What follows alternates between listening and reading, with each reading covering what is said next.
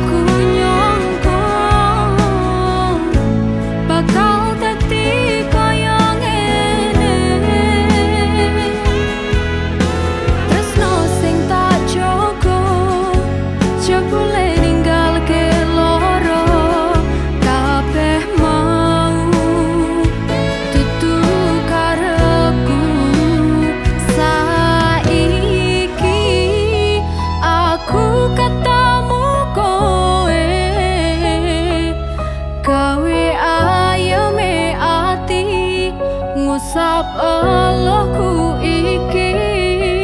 loraku wis ana